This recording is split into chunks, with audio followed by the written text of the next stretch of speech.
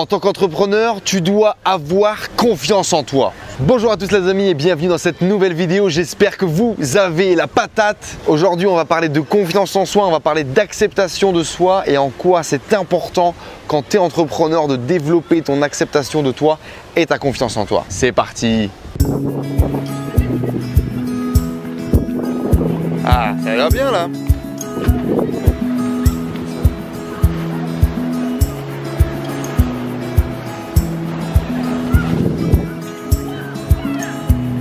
Comme d'habitude les amis, vous pouvez cliquer ici, ici dans la description juste en dessous pour recevoir mon produit, mon coaching offert, les 6 secrets pour entreprendre et réussir jeune dans l'entrepreneuriat. C'est tout ce dont vous avez besoin de savoir en 2017 pour faire booster vos projets, pour exploser dans votre réussite. En plus de ça, je vais vous envoyer un email par semaine pour vous booster, pour vous motiver dans vos projets. Donc c'est maintenant, tu t'inscris, c'est juste en dessous. Yo, putain, on n'est pas bien là?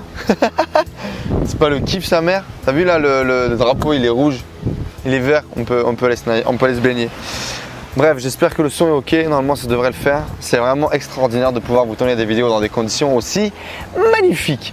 Aujourd'hui les amis, cette vidéo va être basée sur un couple, je reviens un petit peu là-dessus, j'ai lu un petit peu pendant ces vacances. Du coup sur un couple qui s'appelle Ne bougez pas, les six clés de la confiance en soi de Nathalie Branden.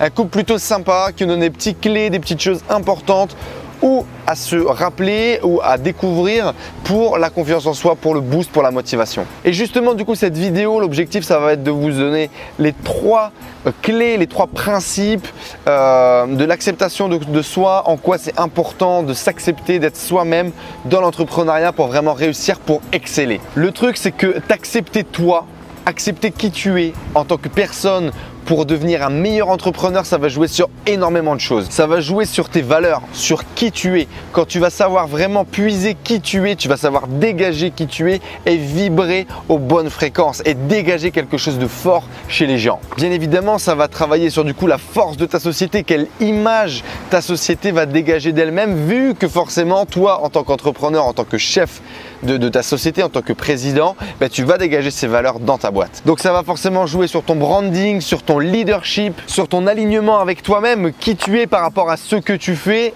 et donc du coup finalement sur ton bonheur personnel. Et ça, c'est quand même des valeurs qui sont énormes. C'est pas des choses à prendre à la légère.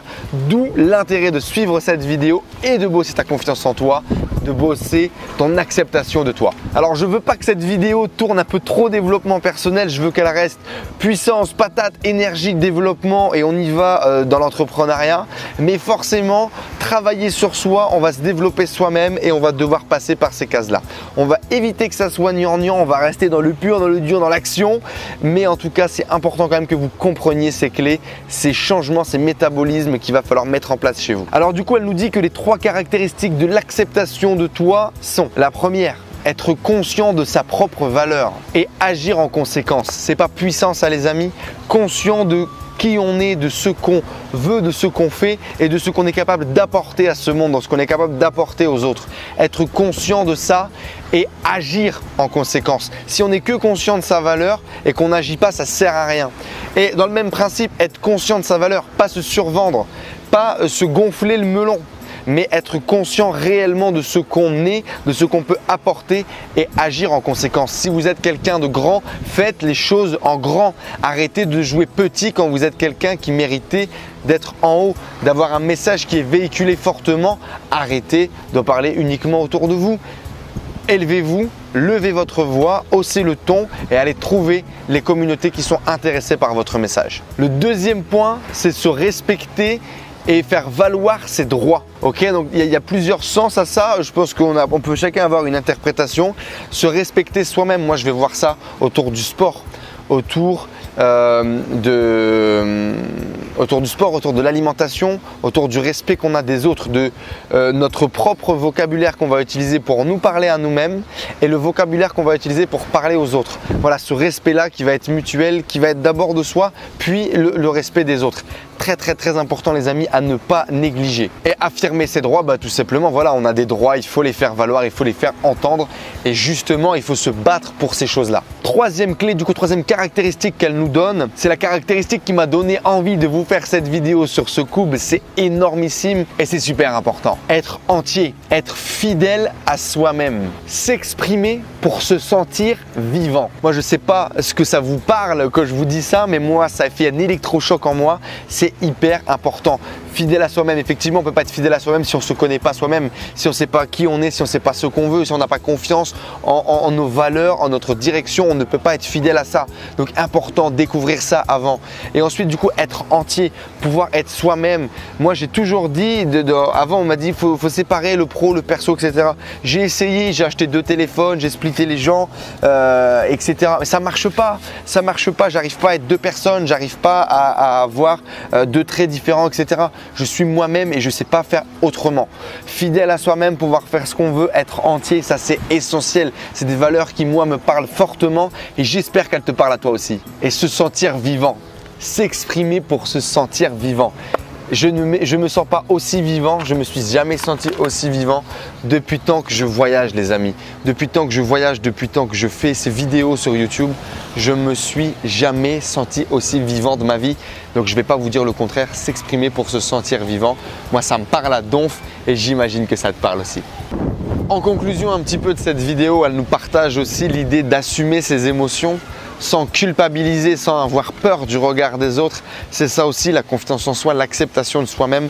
On ne va pas être dans le regard des autres vu que justement on aura fait un peu euh, notre acceptation, on sait qui on est, on sait où on va et on n'a pas peur du regard des gens. Ça, c'est essentiel. Et qu'est-ce que ça fait du bien? Le dernier point que j'ai envie de vous partager, c'est que du coup, il va falloir accepter les choses positives comme négatives. Et effectivement, on parle souvent d'acceptation, on voit souvent les bons côtés, on ne voit pas assez les mauvais côtés. Ben, il va savoir aussi ben, accepter que parfois vous n'êtes pas à l'heure, accepter que parfois euh, vous n'êtes pas très sérieux, accepter que vous êtes plutôt fêtard. Mais vous, c'est aussi vos mauvais côtés comme les bons. Et si vous êtes excellent dans un domaine, c'est forcément que vous avez des petits défauts ailleurs, que vous avez d'autres choses qui vous dérangent un peu dans votre comportement. Vous allez pouvoir travailler dessus, vous allez pouvoir les améliorer. Mais ce qui est surtout important, c'est de les assumer et c'est d'en être conscient. Donc il va falloir prendre conscience de vos bons comme de vos mauvais côtés et il va falloir kiffer avec le tout team. En tout cas les amis, moi c'était un grand plaisir de vous partager euh, cette découverte de ce couple dans cette vidéo. J'espère que vous avez kiffé, j'espère que vous connaissez maintenant l'important, si ce n'était pas le cas avant, de vous faire confiance, d'avoir cette acceptation de soi. Je vous laisse sur ces petites images de la République dominicaine qui est magnifique. Vraiment un très très très beau pays. Si vous avez l'occasion les amis, je vous le recommande. Vous allez kiffer. Je vous dis en tout cas, n'oubliez pas à vous abonner juste en dessous, laisser un like, laisser un commentaire comme d'habitude. Je compte sur vous la team, on avance ensemble, c'est extraordinaire le chemin qu'on a fait sur un an ensemble. Je vous fais des énormes bisous, big kiss les amis, ciao, boom alors si tu as envie de faire exploser tes projets entrepreneuriaux en 2017, une seule solution pour toi mon gars.